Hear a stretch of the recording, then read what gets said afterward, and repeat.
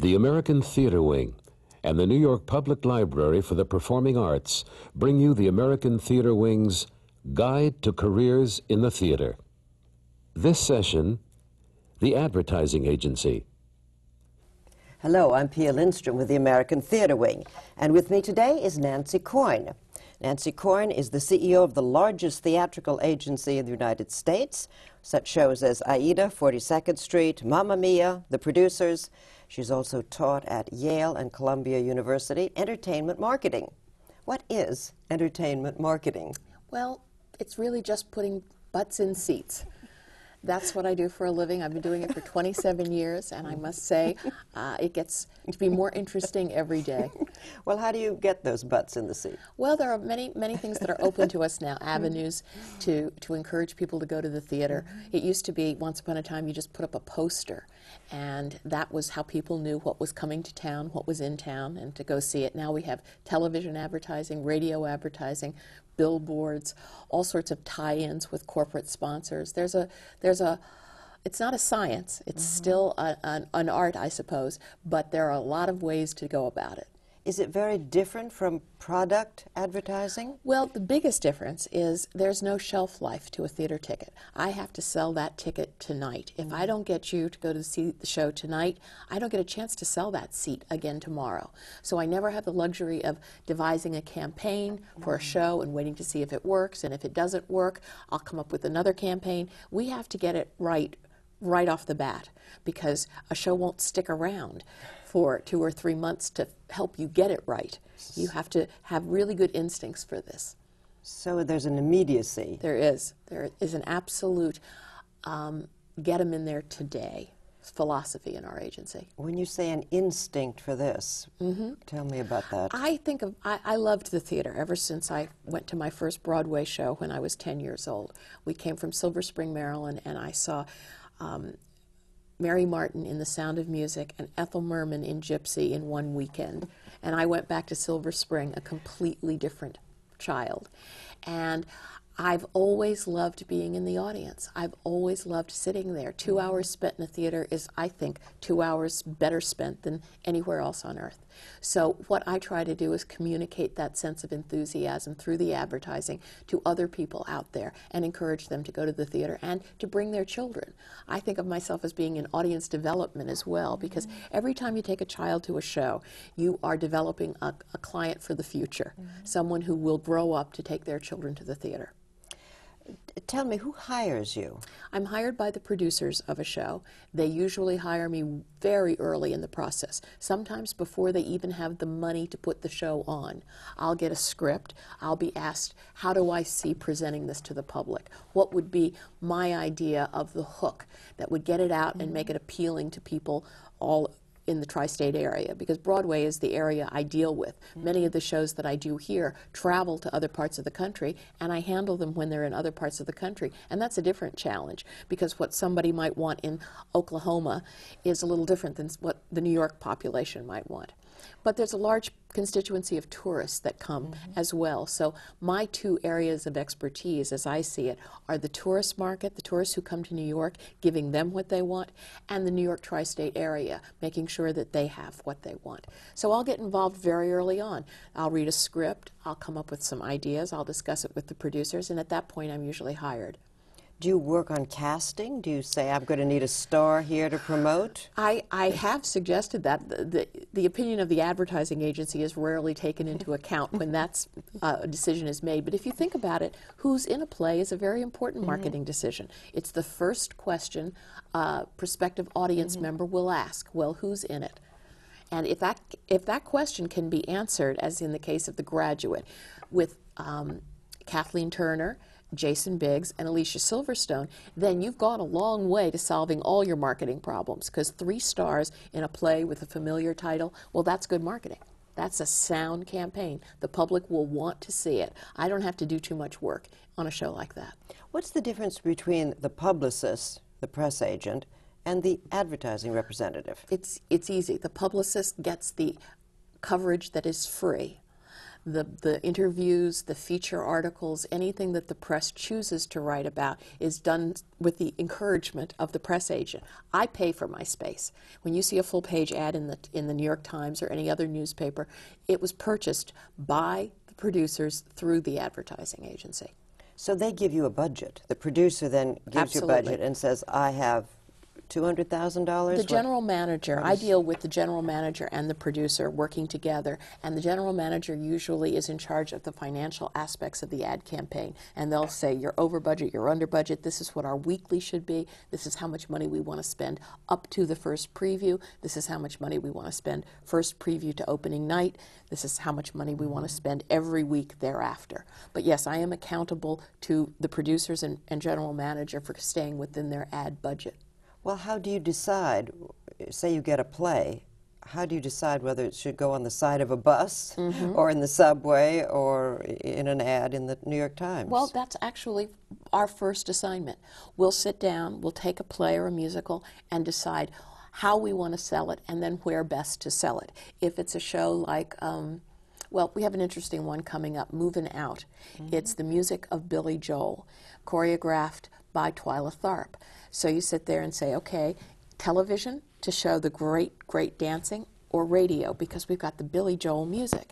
In in our case, we picked the Billy Joel music not because it's superior to the Twyla Tharp dancing, but because radio is very, very effective during the summer, and that's the period of time that we'll be advertising it. That's the preliminary period of advertising. So we would decide to do radio in the summer, and then when it opens, do television in the fall all throughout this there'll be print there'll be i mean it's, it's like working with a pie if we if we're given a million dollars we have to decide in addition to how what kind of pie to bake how we're going to divvy it up Is a million dollars a typical? a million dollars is a relatively average budget pre-opening for a big musical Okay.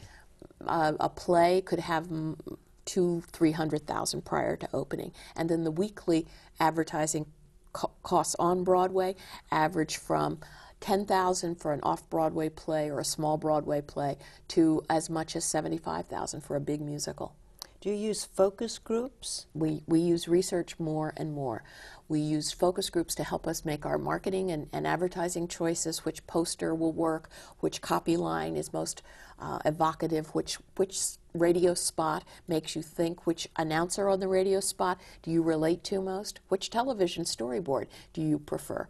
So quite frequently we use, we use focus groups, and then we also do some quantitative research on the back end to find out what stations people listen to, what television programs they watch, what papers they read, how they respond to the advertising they see. Where do you find these people that go into these groups who The tell focus you these groups, things? oh, yes, they- or they're, anything. They're they're very easy to find. They love giving you their opinion. we usually go to New Jersey. We have a facility out in New Jersey, and we do maybe three groups an evening out there, and they're fascinating. We've heard things that we never in a million years could have come up with on our own.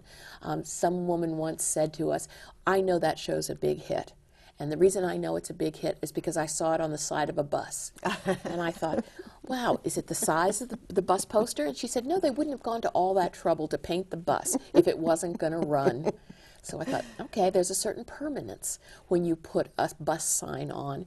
And if you think back over the years, you haven't seen too many flops on the side of a bus. You paint the bus literally. You paint No, the she- bus. That's what she That's thought. She thought. Oh, okay. She I thought thought maybe. that. No, we just put uh, flex faces. They're called. They're plastics that that go up on the side of the bus.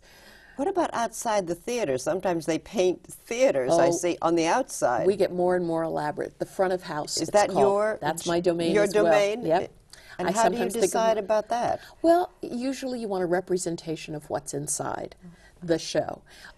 Sometimes you don't. Cats decided they were going to paint the Winter Garden Theater black. Mm-hmm. And the logo was two eyes with dancers inside the eyes, and they were going to maintain that sense of mystery right out to the front of the theater. And they weren't going to let anyone see what was going on inside until they paid their money and took their seat. These logos, mm-hmm. how are they designed?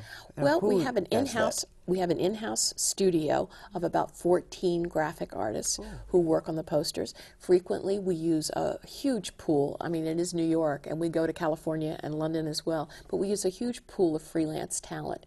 When we sit down and think, you know, who would be perfect for this?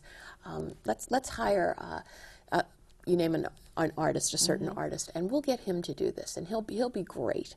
And it's usually decided by a creative director, who is the person who is in charge of the creative aspects of a of a show, the art director who's in charge of the design of the show, not the show itself, but the mm-hmm. advertising of the show, and the account person, the person who handles the money. There are a mm-hmm. lot of very talented people that Broadway can't afford to work on posters or poster design. You have some here. I do. Can we look at them? Sure. This gives us the idea of what they actually Some of these will be like. very familiar. That's this is the producers. This is the producers. We wanted a picture of Nathan Lane and Matthew Broderick. Right. And we also wanted a logo that was the door that you might see to the producers. One of the things that's a challenge about theater advertising and logo design is these proportions. Billing is always a factor. When you design a Coke can, you don't have to have two names above the title 100%. That's some of the challenges that we go into. This one wasn't particularly difficult, but certain other ones in here were.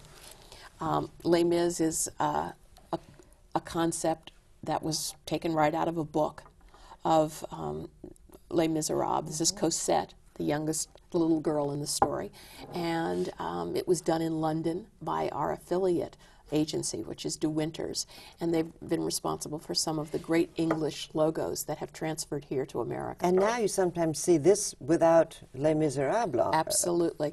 If, if a logo if a logo is good, really good, and a Mm-hmm. show runs for a period of time, the logo comes to stand for the show, and you don't even need a title. I think if you showed this now, after five years on Broadway, you wouldn't need to say The Lion, The Lion, Lion King. King. People know that. Now, these are all different artists that do these. You don't use the same people, and they're not in-house. Um, some of this, this was done by an in-house artist. This was done by an in-house artist in Oh. Dewynters in London. That came from London as, uh, as well. Um, this is a photograph. Sometimes what, what you need to do is communicate the, who's in it more than anything else, and that was Teri Hatcher, the star of the touring production. This is a, a logo that has evolved over the years in one way, shape, or form. It went from the movie. The movie. Exactly. where and I we just that adapted it to the to- live show. This is actually these two were both done in house, and Mm-hmm. they feature the chorus, which I love. Sometimes the chorus is the star of the show, and when it is, you need to, to get that message out. And who decides that? Is that something you decide? And that's part of your job? Is Mm-hmm. That's to part come of my up job. To, to get down to the basic creative strategy. How are we going to communicate with the public? What can we say about Kiss Me Kate that's going to appeal to the person sitting out there who has to decide what am I going to do next Friday night? Am I going to go to a show? Why should I pick this show? Well, this show looks like it's going to be fun. And after a while, you get a sense of what people want. You go to enough focus groups and, and listen, and they'll tell you what they want to see. You know, we once did a show called The Rink with mm. Chita Rivera and Liza, Liza Minnelli. Minnelli. And it was a story of a mother and a daughter who lived underneath the, the, the roller coaster at Coney Island. And it didn't sell particularly well. It didn't get all that great reviews, but we thought, gee, Liza Minnelli, Chita Rivera, they have such followings. I wonder why there's not a bigger crowd outside the theater. And so we went and interviewed the people that were there, and we interviewed the people in the TKTS line, standing in line for discount tickets, to find out why they weren't going to make the rink their first choice. And they said, well, because we've seen the pictures and they're wearing street clothes. I said, what? They're wearing jeans. I said, yeah. And they said, when we see Liza Minnelli and we see Chita Rivera, we want sequins. So, I mean, if that research had been done prior to the show, they, they might have decided to do a different kind of a show. But we l- literally realized that showing these people in the costumes of the play itself was a turn off, not a turn on, even though we had two stars. It's how people want to see stars, the context. What else have you got here for us? The Music Man. This is a good one. This is a good one because With a child, it doesn't even have the stars. that's right. When you think the music man, you think Robert Preston. Yes. That was our problem. That was the mm-hmm. challenge here. And the way to overcome it is to say, wait a minute, the music man, yeah, it's about the music man, but it's also about children. And it's for children. It's a great mm, show to ah, bring a child to. So let's concentrate on Winthrop, the little boy who has the lisp, and let's make that our focus. Does the producer approve this Yes. finally, or Yes. it's your final approval? No, no, no, no. It's always It goes back- always goes back to the producer. Now, sometimes you have these days dozens of producers. I mean, I guess in the old days there might have been one or two. Now That's you right. can have six or seven. it's much more difficult. How do you deal with all those guys? Well, or women? They're both. They're both. It's that's part of the challenge is getting a consensus of opinion, and hopefully, I will put up eight or nine different approaches to a mm-hmm. show, mm-hmm. and I have my favorite. I hope that I can get them all to have my favorite as their favorite as well. But it's it's the art of compromise. So you have to come up with eight or nine ideas It's usually Usual. safest to do that. of different ways to approach it. That's a lot of ideas. I have on mm-hmm. occasion come up with an idea and been so certain that that was the way to go, that that would be all I would present. I wouldn't, it's a dangerous tactic to take because you, if you're shot down, you have no fallback position. But occasionally you believe in a, in a, in a direction and it sort of breaks your heart to go in any other mm-hmm. direction. So you simply take that direction and you show it in all different media. If you really believe one way is the right way to go, you'll do a poster, a radio spot, the mm-hmm. storyboard for a television commercial, and you'll show them how this one concept can be executed across all disciplines. And that's a pretty effective way to sell it, to show how it will work everywhere. What do you have to study in order to know how to do this? difficult people. I mean, it's it. Producers are creative by by mm-hmm. definition. That they want to be in the theater means they're a little different than the regular businessman. I mean, if you think about it, it doesn't make a lot of sense financially on paper mm-hmm. being in the theater business. There are only eight performances a week. You have a fixed number of tickets you can sell to each performance, and therefore you have a cap, you have a top, a mm-hmm. ceiling on how much money you can make in a given week. That's sort of not the American way. We want to believe that if we work hard enough, the sky's the limit. Well, you can only do a show eight times a week, so the sky isn't the limit. Therefore, it takes a person who actually loves the theater, who feels about it the way I feel about it, and has chosen to make a little less, and by doing so, works in a little less of a business like world. Um, it's it's a ve- it's it's difficult. It's difficult to get all of these people in a room together and get them thinking as one because that's what you need to do. You need to have one campaign. What do you have to know as a, uh, what are the, the, your educational background? My What does- educational or, well, What does somebody come with to this business? Well, for example, the advertising business. I mean, c- I have many young people who work for me who were communications majors. Mm-hmm. Some were theatrical, who had designs on going on the stage. I mm-hmm. have a lot of frustrated singers and actors and dancers in mm-hmm. my agency. They understand the theater, and then when they get there, we teach them the art of advertising. To have an advertising background and to go into theater, I don't think is as valuable in my world as having a theater background and learning the advertising business because we're so not like a regular ad agency.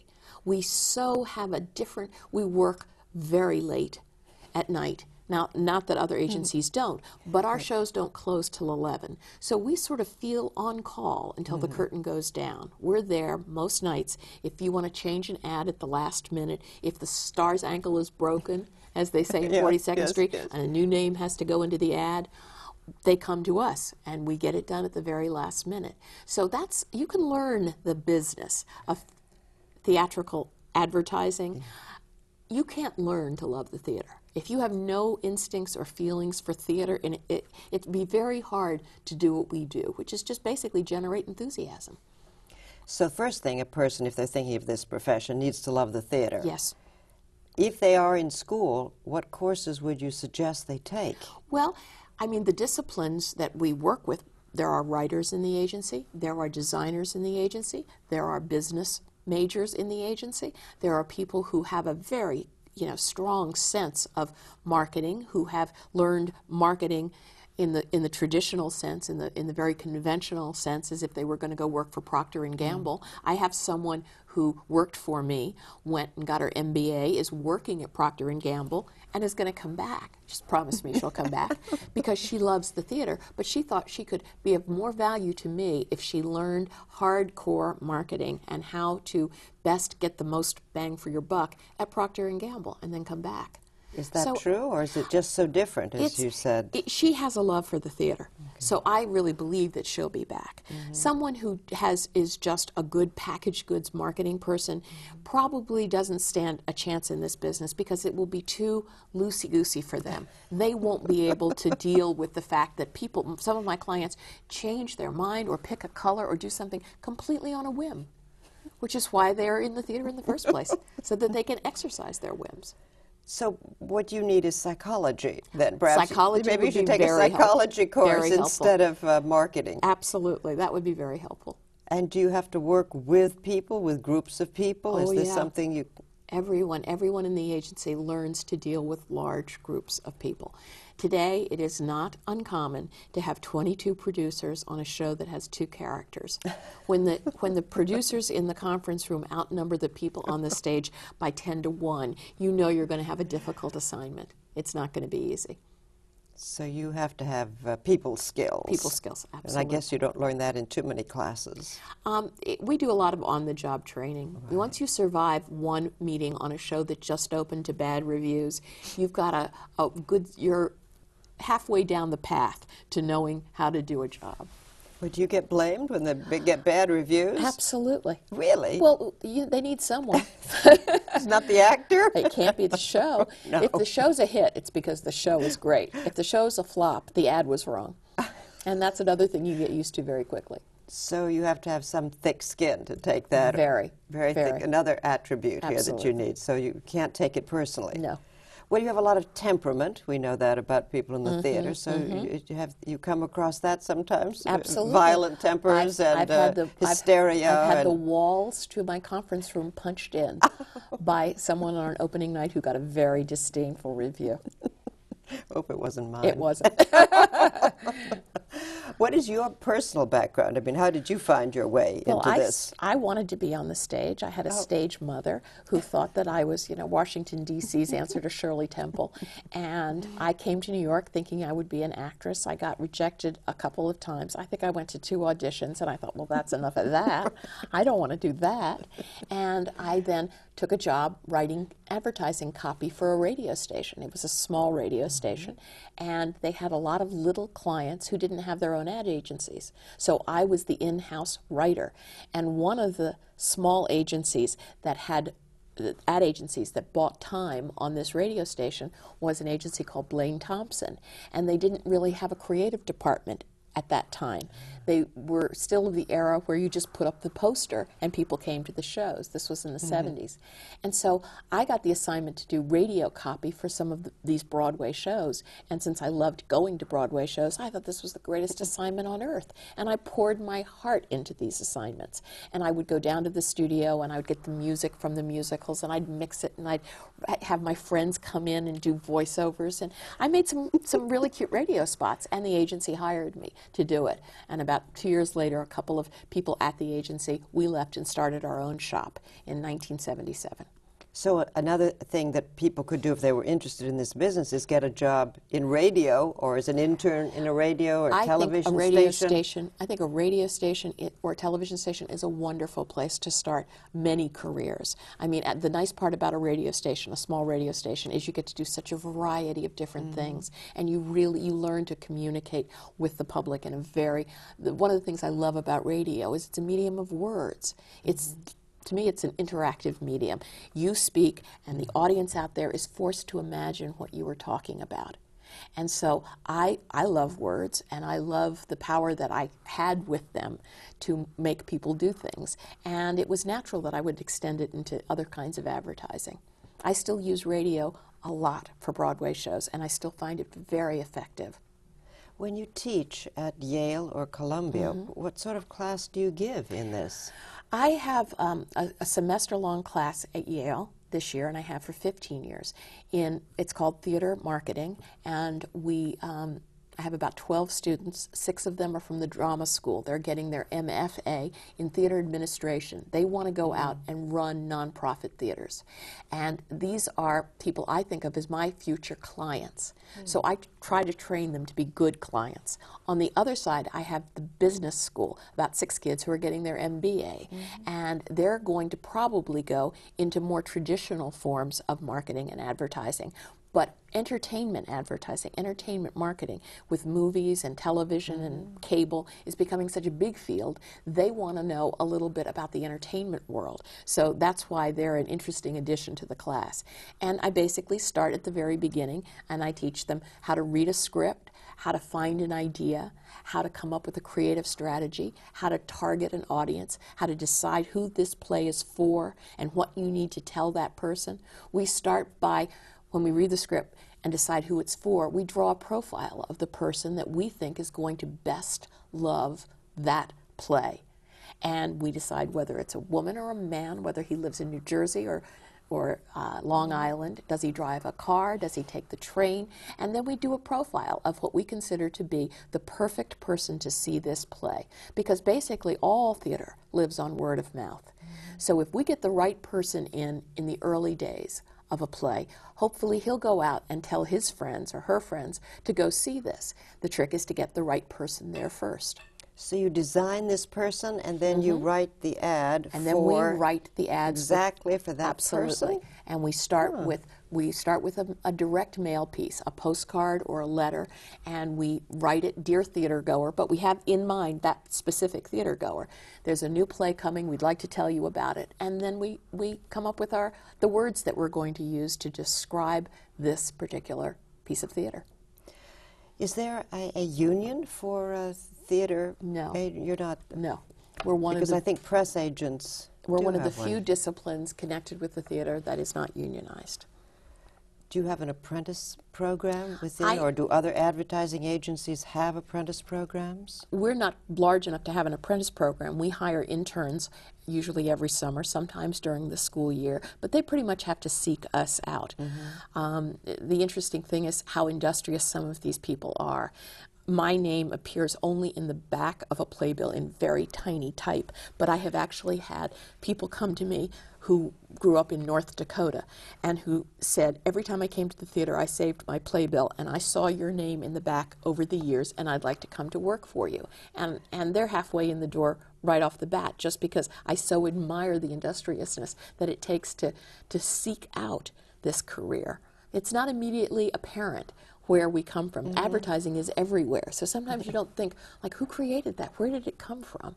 And people who, who know us in the business know what we do. But the, the public in general, I don't know that they make the distinction between press agents mm. and advertising agencies or marketing firms. I think they just think they've been sold the idea that Oklahoma is the musical to see, and they go and buy the ticket. I don't think they're they're aware of exactly who did what. But I suppose there is some blurring of the lines getting an article into a magazine, maybe because you know a writer or somebody on the magazine and you suggest it. Well, when we have ad meetings, which is usually once a week for a mm-hmm. Broadway show, it's a meeting with the press agent as well. And the strategy, whether it applies to paid advertising or to s- feature articles, is the same strategy. We're going to push certain elements of a play, whether we push it to writers at, for for. Uh, there's an interesting article in the New York Times today on the hair in Thoroughly Modern Millie and it got much more space than any of us had any idea. She does have a great, great wig on in Thoroughly Modern Millie, but that's one of the things from day one we knew we had to sell in our poster. The wigs? This great bob. Oh. She's got this great bob, and it's out there in all the posters, and now people know how she got it. So that's part of your job, not the press agent's job, is to come up with the hair or the well, hook. to come up with the hook, The hook. the strategy, the way we're going to approach the public, the tone of how we talk. Are we going to talk tongue in cheek? Are we going to be mm-hmm. serious? Is this the theatrical event of the decade or a fun evening in the theater? What's what? What do we want people to take away mm-hmm. when they when you say Elephant Man? What do you want them to give you back? Sometimes it's very. Are you doing Elephant Man? Yes. Well, there's one. What do you want people to? Uh, Well, first what, and how do- foremost- take me a little bit through that because that's about to open. How would um, you have done This that? is a revival. I'm in mm-hmm. the position now, unfortunately, of having worked on shows the second time. So I remember the first campaign because I did the first campaign. Mm-hmm. A revival's a little different because you've you've had the first campaign under your belt. The title is somewhat established. In this case, between the first Broadway production and this current Broadway mm-hmm. production, there's been a movie. So we're not introducing a subject that no one's ever heard of. The Elephant Man has that he is John Merrick, mm-hmm. the period, the time, that's a little bit known, and that's certainly our first audience, the people who don't have to have it all explained to them. What we bring in this production is Billy Crudup and um, Rupert Graves and Kate Burton. And so we knew instantly we wanted a photograph of those people because that's what I wanted people to take away. Oh, this is the Elephant Man with Billy Crudup.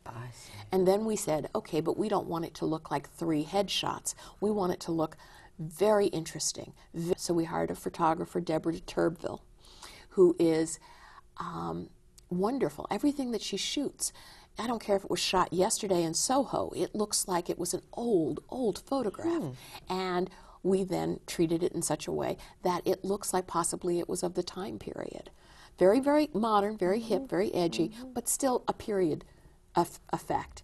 And what's the takeaway? The general takeaway is this is a, an important play. This is a play with three stars, a message, and it probably should go on to your must-see list. I should. So you don't emphasize uh, his deformity Oh, or no. something, uh, or show the man with a sack on his head. No. as they did in. In the- I don't know, the movie in the so- film. In the film, yeah, that was He's what I took away from it. If you want to remember, my image was just the guy with the bag on his head. Right. Well, the, the, the startling thing about this production, as the original production, is there is no deformity. Billy Crudup acts the deformity. Mm-hmm. yes. And in time, you come to think you've seen it there. You come to believe. That's good acting. That is, that is good acting. How much can a, an advertising person earn? Well, we um, uh, our starting salaries for an assistant. The way you the way you get into the the business at my agency is you start usually as an assistant account executive, which is probably a glorified name for uh, a secretary who takes a lot of the the bad phone calls. I mean, an average assistant in the agency makes around twenty-five thousand dollars and gets around eighty-five voicemails when they go out to lunch. So most of them don't go out to lunch. It's just easier to stay at your desk and take the phone calls as they come in than let them pile up. So the first thing you have to do is deal with all these angry people. Yeah, and it's not just the the producers and the client side. Then we have to deal with all the media. I mean, there are ah. deadlines if you want to put an ad in the. I mean, we have newspaper advertising, radio advertising, television advertising, billboard advertising, subway advertising, sides of buses, tops of taxis, phone kiosks. There's a million places to put the name of a mm. Broadway show, and somebody's going to get the call that says, "Where are your plastics? We don't have your posters. We can't put them up on the Long Island Railroad because we haven't got them yet. Are they at the printers? Uh-huh. Not to mention printers. It's a whole other subject." But it's it's that's the starting salary I would say is twenty five thousand dollars. It goes up to a hundred, two hundred thousand dollars. The more you can supervise every aspect of a Broadway show. So you need real management skills, Yes. it sounds like, in Yes. addition. And at the top level on the business end of it, the mm-hmm. accounts supervisors are people who have three or four account executives under them. They're responsible for three or four Broadway shows in the supervisory capacity. They have someone specifically assigned to that show, but the buck stops with them. On the creative side, there's a creative director who works with the account supervisor, and he may have a couple of writers and a couple of art directors under him, but he's responsible for the look and the sound of everything that goes out with the advertising. So you have at your top level the account supervisor, the creative director, and then there's a whole other department of media buyers who we go in and say, all right, this is going to appeal to women 25 to 54 who have a strong theater going background and who um, live within a 10 mile radius. We don't think people are going to drive too far to see this play, so let's concentrate in Manhattan. And they'll come back to us and say, here's the two radio stations that will deliver best for you. Here's the magazine we think we should, you should be in. Here are the newspapers. Here are the days of the week that we want them to be in. So there's a media director, an account supervisor, a creative director, and then at the far end is the billing person who sends, who puts all these figures together and sends the client a bill for our services each week. On television, do you decide what program the commercial will be on? Absolutely. You say we're going to put it on the news or we're going to put it on uh, Sex Absolutely. in the City? We sometimes decide based purely upon demographics, the, the people who are watching at that time. Sometimes we decide based upon the content of the show. A show that's just opened will likely be on the news because it's news to Broadway. And so we want people who want to know what's happening today. We'll put a commercial on the news. But there are some programs that are just enormously efficient for all theater goers. The, the prime access and the fringe programming. Um, in New York right now, it's uh, happens to be Channel 11 has uh, Friends and a Raymond. Uh, everybody loves Raymond from 11 to 12, and those numbers pull very well, and the prices, the spots are priced very affordably. So you'll see a lot of theater advertising on that particular hour. The news pro- morning programs are also very effective. Theater goers tend to watch those each morning. But you, you don't deal with the critics. That would be the press agent. Correct. But you take the words of the take the critics, words of the critics. and then put them in the ads. I do. You, you're the one who selects. Yes. And sometimes I select quite creatively. I, I, I'm not embarrassed to say I never twist words. I never, I never misquote, but I sometimes do um, lead a, a person to believe that a critic liked a show a little more than they did. everything when they really said, I just like the sets were fabulous. I'm not. I'm not fond of doing that. Yes, I'm not fond of pulling something out, but I am fond of taking, you know, uh, one word like brilliant. If they said brilliant sets, I wouldn't put the brilliant in in, in the headline. But if they said a brilliant production, you just see brilliant, and they might have said a brilliant production of a terrible play. You'll see brilliant from me. So you have to be very crafty in your business too. It sounds like we're crafty. rather clever. We're crafty, but I, I don't believe in misleading people. It always it always bites you when in the back when you get around to the end of the day. You mentioned account executive. What Mm-hmm. exactly is an account executive? An account executive doesn't actually take those 85 phone calls, but he makes sure that someone does. He's responsible, he reports to the client, and he's the one the client can call up and say, I hate the way my ad looked in the paper today. It was on the wrong page, it was on the movie page. And he deals with the, the vendors, the New York Times, the Post, the news, the radio stations. He'll make sure that we that the client's dollar is well spent. We frequently spend a lot of time chasing the media to give us make goods on ads that didn't print well, on spots that didn't run where they were promised, on things that are a little a little less than what we think we paid for. So I would say he holds the pocketbook for the client and makes sure that we get our the client gets his money's worth. So not only do you have to think up all these ads, you then have to monitor all the radio and television and newspapers to be sure they, they run it that way. I get the papers in the morning and I open it to the theater section, and my heart sinks when I see an ad that didn't print well because I know that's a bunch of phone calls that'll have to be made. When I see an ad that that has poor placement, that's not on the page that we guaranteed, I know okay today we're going to have a problem with that because somehow what we what we were promised wasn't what was delivered. Tell me what's the one of the worst experiences you've had with a play? Oh my goodness, that's the problem of having done this for 27 years. Um, well, Big River was a musical that was um, a challenge because it was set obviously on the Mississippi. It's the the the um, based on the Tom Sawyer legend and uh, a story, and on the stage. The raft was a wooden raft. Do you remember this production? a wooden raft that, that went from stage right to stage left and upstage and downstage. And after a while, because it was the theater, you bought the convention mm-hmm. and you said, okay, I'm with you. I'm going to imagine the Mississippi. But television doesn't work that way. People are used, if, if, if you want to see the Mississippi on television, on film, you want to see the Mississippi. So I convinced the producers that we would shoot that commercial in the water.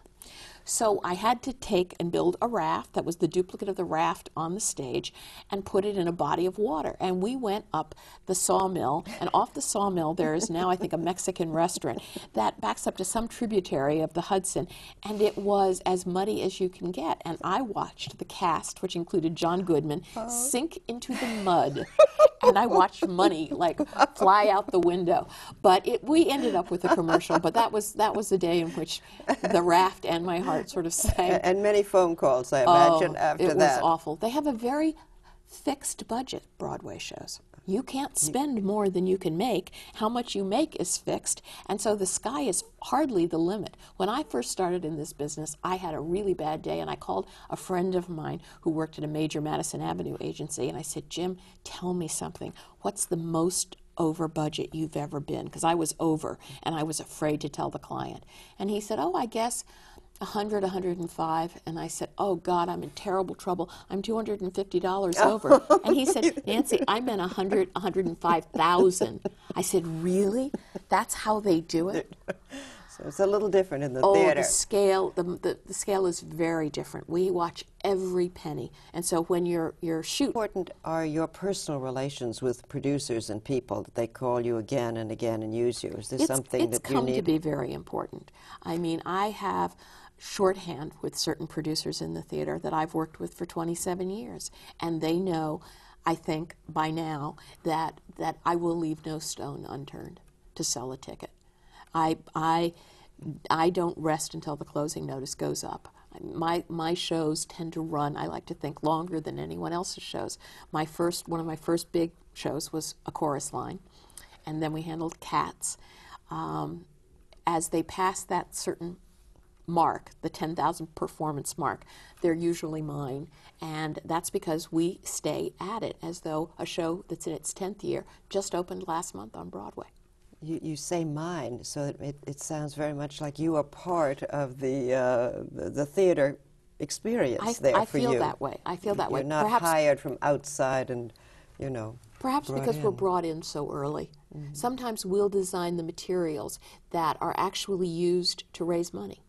So that when there's a backers audition, they'll put up a poster that we've designed for the show, and it gives the potential backer an idea of how the show will be sold as mm-hmm. well as what the show looks like. So they start to have confidence not only in the property, but how the property will be marketed to the public. And sometimes that makes the difference. Someone will write a check based upon my efforts. So I mm-hmm. feel sometimes kind of instrumental in getting the show on, and I definitely feel instrumental when it's running to keeping it on.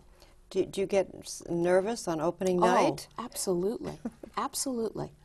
I, I, we go back on an opening night back to mm-hmm. the agency, and we sit around with the three televisions on, waiting for the New York Times to come in, mm-hmm. waiting for the news and the Post, waiting for the now we, with all, things on computer, we get a lot of things online, mm-hmm. and you know the the first thing we do is we I mean we read the reviews just the way the producers do. You hmm. quickly scan it to see if there's mm-hmm. anything awful. You look for the words you can pull out, and you, you, you your heart's in your stomach. Do you ever advise a producer that he ought to close a show? That it's I have. Mm-hmm. I've told him that there is no way at this point to sell it. Um, I I advised a producer the other day not to do a show, mm-hmm. and God bless him, he sent me flowers the next day. I thought maybe I had overstepped my Yeah. my area of expertise, but I didn't think it was saleable the way he was planning to do it. And he decided I was right and sent me flowers to say thank you. You saved me four hundred thousand dollars. Do you ever see a, a, a run through and say, "Gee, that song is no good. Uh, you'll have to drop that." You, you don't get that involved. No, no I'm not. A, I'm. I'm not a critic. No. My job is not to fix fix Mm-hmm. the show; it's to sell it, and I'm very, very clear on that. I mean, like anyone else, I have a hundred opinions, but usually that's the last thing they need at the point that I Mm-hmm. come into the picture is another opinion of what what they could do to fix it. If someone uh, who's been watching this show might think, "Well, I'd like to have that as a, try that profession," Mm-hmm. where would you suggest they go? How would they uh, proceed? Well, I mean, we talked a little bit about what they might study, the courses that they might take. I mean, the only place to do what I do for the- Broadway is obviously in New York.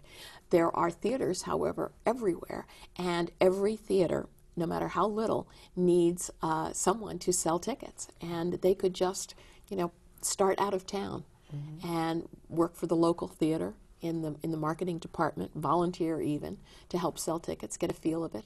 There's always a need to have people who will go out and establish relationships with radio stations, television stations.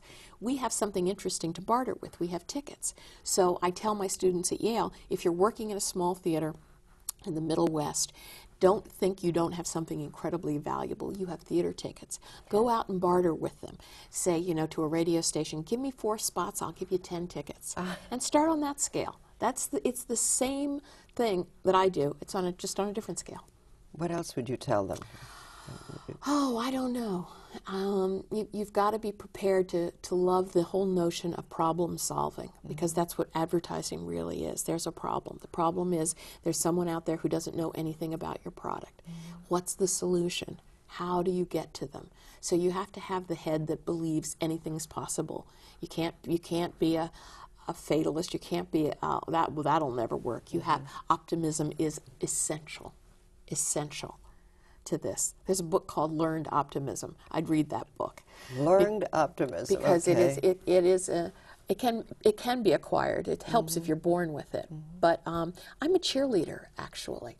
Is what I am, and I, I try to cheer loudly enough so that I can be heard in New Jersey and out in Long Island, and that's that's where my relationships with the media, my relationships with, we get a lot of calls from magazines that have had an airline that canceled a page. They call us first and say, "Okay, I've got an ad here. It normally sells for 25,000, but the closing is tomorrow. If you can get me an ad, I'll give it to you for 10."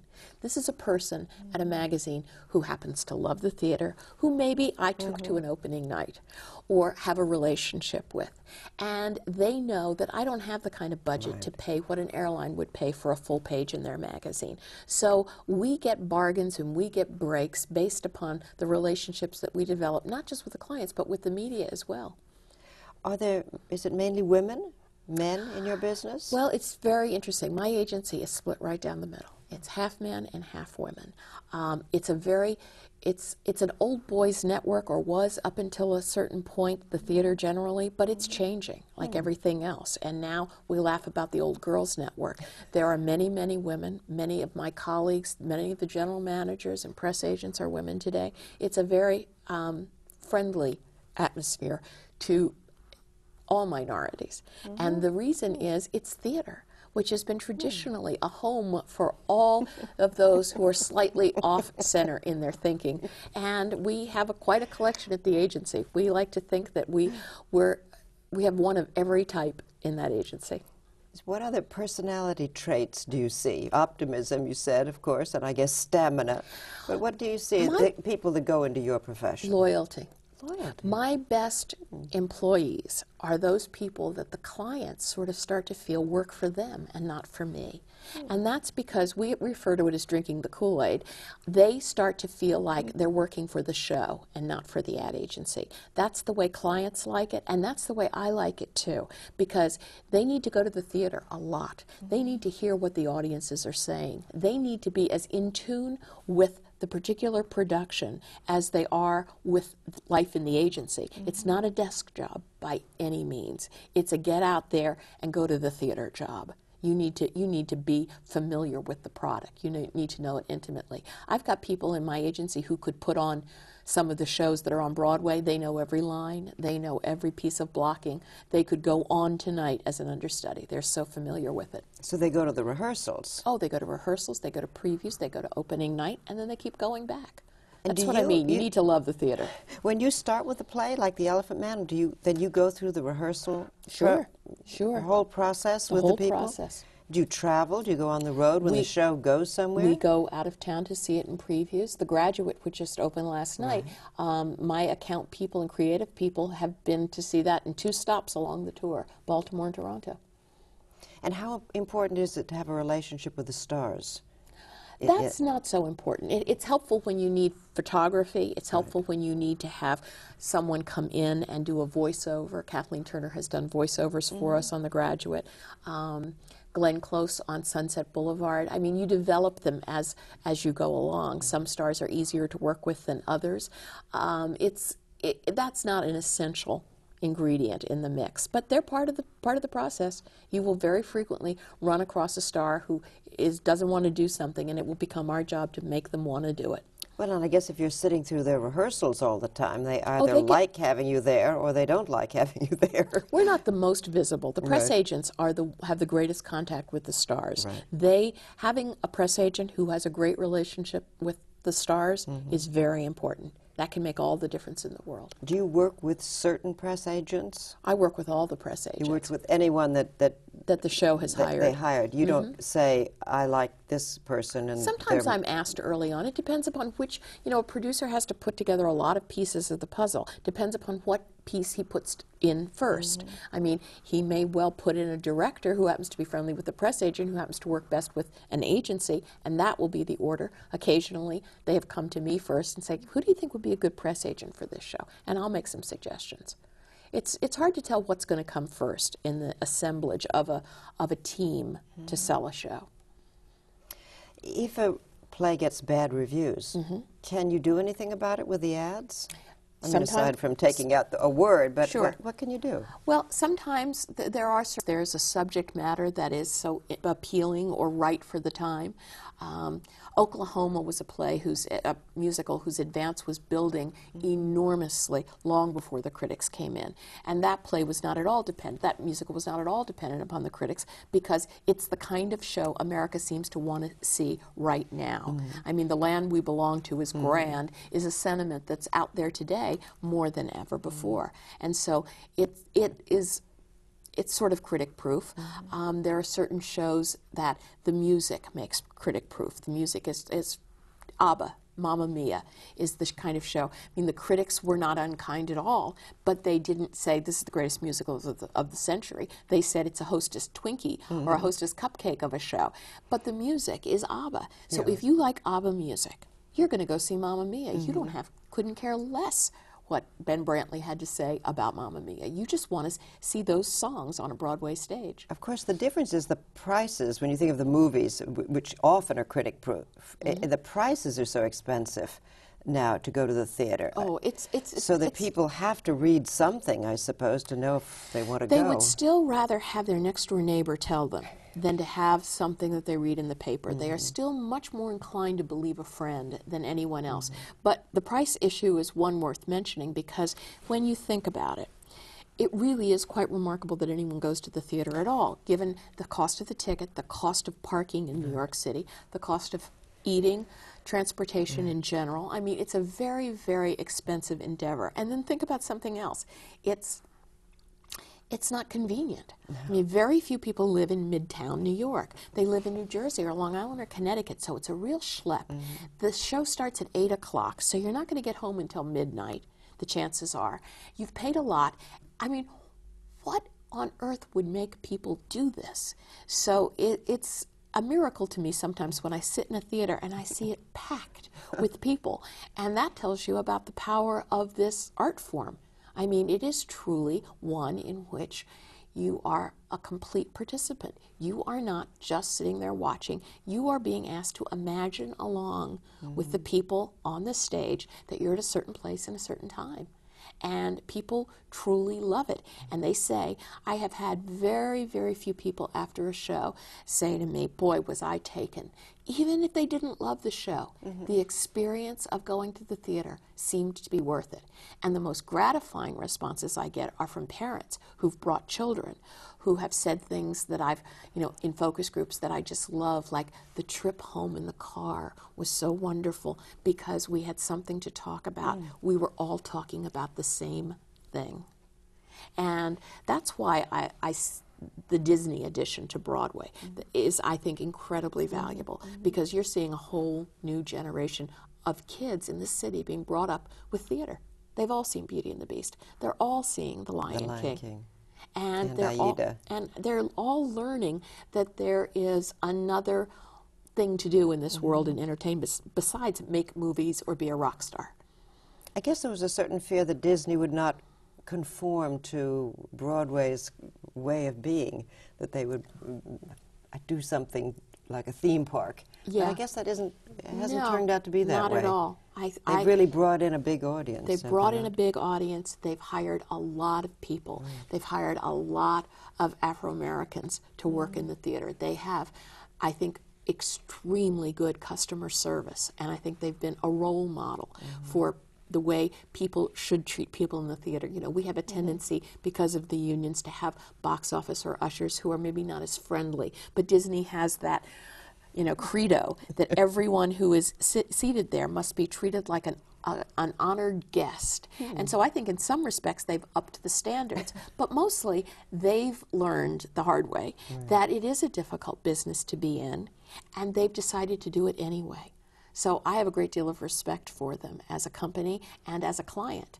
They've brought a great deal of research to this business. They've brought a great deal of, of um, insight into how to entertain the world, which is something they've been doing for, for years and years you, and years. you mentioned product uh, endorsements or product alignment. Is that something, another way to get money? That's that's a relatively new area, and it's a little dicier than it would be with sports because sports marketing and sports sponsorships. I mean, everything has a name on it. The AT and T Pebble Beach or whatever it is, something is always mm-hmm. named. But you know that that event is going to take place mm-hmm. every year at that golf course, come rain or shine. And with theater, you know, it's it's a little riskier. A show could open and it might not run. So clients are a little, I mean, uh, Madison Avenue clients are a little reluctant to affiliate with Broadway shows until they're up and running and proven to be a hit. But there is a growing tendency, I think, for product, not product placement per se, because there isn't a director on earth who would let you put a product in a Broadway show just because Can they were of paying. Coke right on the Not table happen. No. Okay. I mean, theater directors are are very, very temperamental about something like that. Right, no, I mean, right. I uh, Joe Papp, I worked for, and I also do some work for AT and T, and I suggested that I put them together, and Joe said, "Absolutely not. The next thing I know, there'll be a phone in every scene." and I said, "No, I don't think that they would. Anyone would think that you they could convince you to do that." But there is still a growing business, I feel, in putting together. Um, Visa, for instance, is doing a lot on Broadway. American Express is doing a lot on Broadway. There are a lot of credit card companies and banks and, and car companies mm-hmm. who realize that our audience is upscale, affluent, intelligent, mm-hmm. um, very, very committed to what they're, how they're spending their evening. They have a certain degree of education by and large, and so they're an interesting audience to talk to. And mm-hmm. the best way to talk to them, or one way to talk to them, is in the theater. So it sounds like there might be some more money coming in, and then some more jobs, and maybe for young Ab- people watching this program, uh, there will be Absolutely. opportunity. I think probably every major company right now has a division that is interested in sponsorship of sports and Mm-hmm. theater and other enter- entertainment vehicles. Are you? Do you ever think there was another business you could be in?